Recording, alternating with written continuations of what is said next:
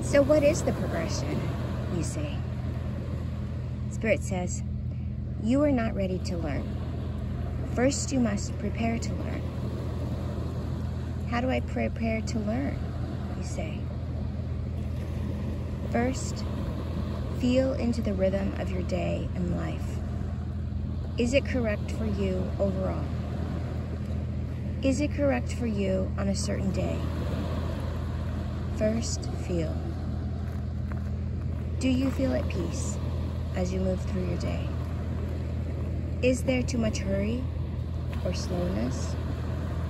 Is there enough newness and excitement balanced by routine?